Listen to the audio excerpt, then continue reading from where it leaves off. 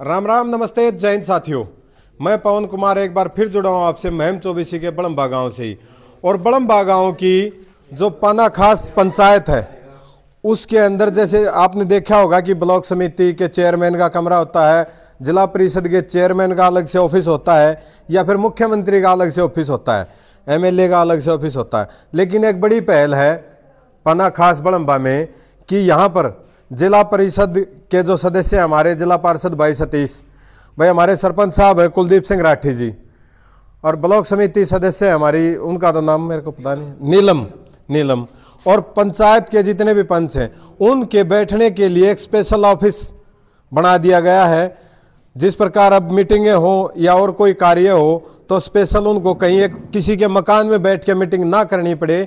उसके बजाय अपने ऑफ़िस में आगे बैठें और गर्व के साथ बैठें और बढ़िया ऑफ़िस तैयार किया गया है। आज इसका उद्घाटन करवाया गया है और उद्घाटन में मुख्य अतिथि के तौर पर हमारे जो ब्लॉक समिति के चेयरमैन हैं नवनीत राठी जी वो भी पहुँचे हैं। आइए उनसे बात कर लेते हैं थोड़ा आगे आ जाए भाई। नवनीत जी राम राम। राम राम जी सभी। बहुत अच्छी सुविधा दी है। क्या कहना चाहेंगे?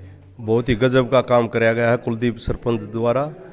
मैं ब्लॉक में के जो सभी सरपंचा तभी निवेदन करूँगा इस पहल को देखते हुए सभी आप अपनी पंचायतों में सभी मिनी सचिवालय खोलें।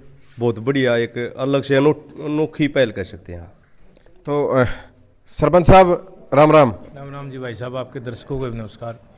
एक पहले बड़ी शुरुआत करी थी हरियाणा प्रदेश में, जैसे नगर निगम की तर्ज के ऊपर या नगर पालिका की तर्ज के ऊपर भाई ग्राम बड़म्बा में, हर पंचायत में कूड़ा उठाने के लिए घर घर जो कूड़ा उठाने के लिए ट्रैक्टर ट्राली की व्यवस्था करी थी। एक और बड़ा कदम ले दिया, क्या करने जा रहे हो और आगे क्या प्लान चल रही हैं?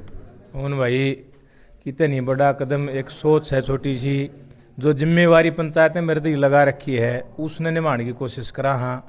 और एक कई साल तो जो हमारा पंचायत घर हुआ करता पुराना वो जर्जर हालत में हो गया था।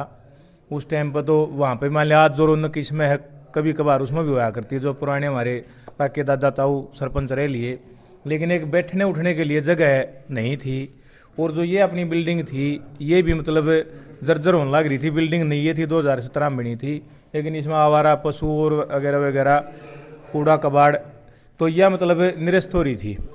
तो उसको देखते हुए और खासकर अपने, देखो फिफ्टी फिफ्टी का सरकार के द्वारा भी हो रहा है, इतने महिलाएँ हैं, इतने मतलब जेंट्स हैं, सरपंच भी हैं, पंच भी हैं तो कहीं आम किसी के घर में जाते तो थोड़ा है एक दूसरे ने झिझक हुआ है चौपाल में जावा, वहाँ भी थोड़ा, चलो, आदमी तो चला जावा है औरतां थोड़ी झिझक महसूस हुआ है।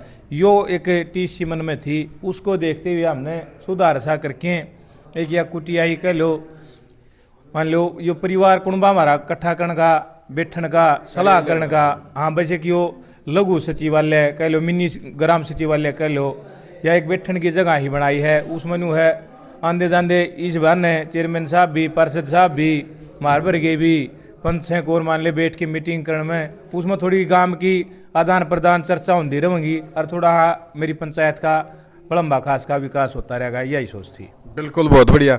तो दर्शक साथियों, आपने बता दें सतीश भाई, हमारे जिला पार्षद है, हमारे साथ में। तो यहाँ पर लिखा, हो भाई, सारे। जो जिला पार्षद भाई सतीश है, उसका भी नाम है, ब्लॉक समिति मेंबर का भी नाम, और इससे पहले जो जो सरपंच बने हैं ये शुरुआत श्री कर्नल उजाला सिंह से होके और कुलदीप सिंह राठी तक पहुँच गई अब तक जितने भी सरपंच बने उनका पूरा रिकॉर्ड यहाँ दीवार पर दर्ज है। एक गर्व की अनुभूति होती है उस परिवार को भी जो यहाँ पहुँचते हैं कि हमारा भी कभी सरपंच था और आज नाम लिखा गया है क्योंकि भूल जाते हैं अक्सर भाई एक बहुत बड़ी पहल करी गई है। हाँ बहुत क्या कहना चाहेंगे इस पर? बहुत बढ़िया अच्छी पहल है भाई। कुलदीप भाई सारे काम अच्छे करने लग रहा है चाहे वो भाई घर घर कूड़ा उठाने की स्कीम है। और भी देखो, सरकार बजट जितना देगी, करने वाला भी उतना ही करेगा, जितना बजट हो उतना ही लगा सके हैं।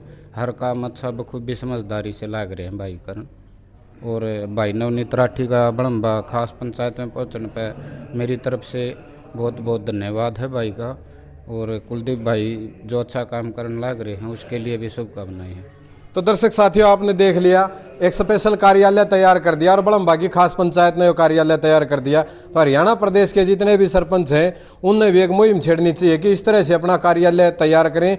ताकि किसी दूसरे के मकान में जाके ना बैठना पड़े और गर्व की अनुभूति हो कि जनता ने हमें चुनकर भेजा है तो वो सीट जो कुर्सी की लड़ाई होती है, वो कुर्सी की लड़ाई यहाँ आगे पूरी हो जाए, वो कुर्सी यहाँ बिछी मिले। तो कैसा लगा ये जो सरपंच साहब के द्वारा किया गया कार्य है? आप सब सब साथी जो है ना कमेंट बॉक्स में ज़रूर बताइए। आप सबका बहुत बहुत धन्यवाद। जय हिंद, जय भारत।